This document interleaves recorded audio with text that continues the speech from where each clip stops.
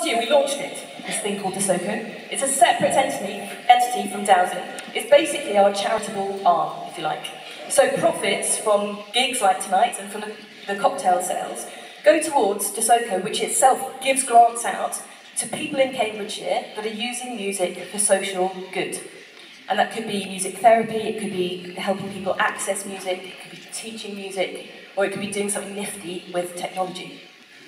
So we give out money about twice a year, and we're delighted tonight to announce that we're giving just under £4,000 out to projects in Cambridgeshire, and I'd like to tell you about them because it really, um, it really is something.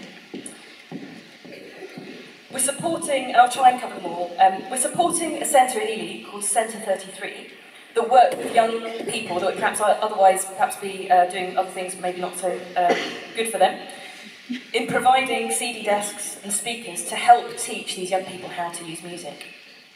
We're buying a violin for a young boy with autism to help him integrate with other people and play music more socially. We've given funding to a young gifted composer with sight loss who's going to be attending a summer school on composition. We've given money to a project called Sunflowers, where they're buying something really cool called a Skoog, which is a, a, crazy piece of technology that people, severely disabled children, can interact with this and make music where they wouldn't have been able to before. We've given money out to Romsey Mill to support their Off the Beat and Track project. And again, this is working with young people and providing specialist recording equipment.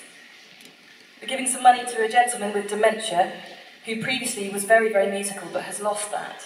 And so this is for a music therapist to work with him to help him regain some of the things that he loved and to be able to communicate better.